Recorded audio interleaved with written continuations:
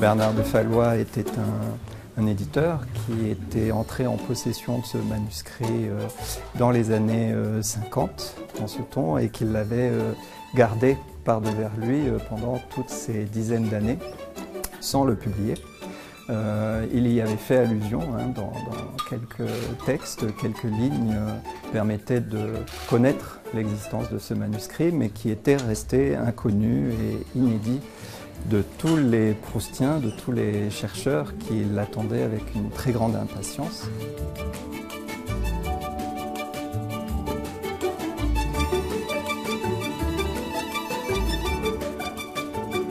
Ça peut être 5 heures, euh, une journée sur un feuillage. Par exemple, je peux passer, j'ai passé déjà une journée sur un feuillage.